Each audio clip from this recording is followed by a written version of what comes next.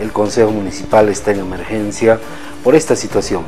Primera situación eh, con muchos problemas ahí es el saneamiento básico. La mayoría del distrito en esa zona no tiene alcantarillado sanitario, es decir, eh, toda la parte baja de San Jerónimo Lindo, eh, San Jerónimo Centro, Sud, el barrio petrolero, San Luis, no tienen alcantarillado sanitario.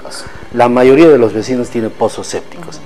¿Y qué es lo que pasa? Llega la época de lluvias y el nivel freático del agua sube en esa zona y empieza a rebalsar en todas las casas eh, por los desagües, los baños, etc. Entonces los vecinos están muy, muy desesperados por esta situación.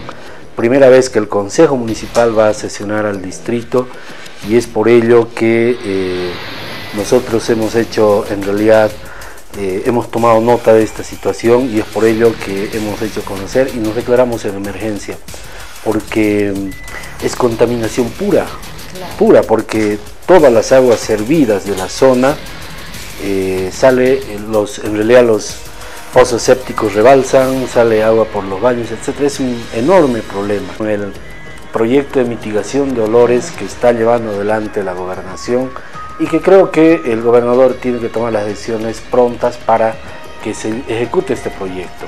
Es decir, eh, creo que está en una fase de licitación. Eh, le pedimos de que pueda agilizar pronto. Nos hemos declarado en emergencia porque tenemos que empezar a trabajar y no ocultar el problema de San Luis, no ocultar que todo el distrito 11 no tiene alcantarillado sanitario, porque eh, María Estela, en el distrito 11 hay contaminación pura, más que en otros distritos, porque ahí van todas las aguas de nuestra ciudad y lamentablemente los vecinos están cansados, desesperados, impotentes ante tanta contaminación que hay. Por ello el Consejo se pone manos a la obra a partir de ahora. Pedimos de manera muy, muy respetuosa al gobernador que agilice el tema, el proyecto de eh, mitigación de olores.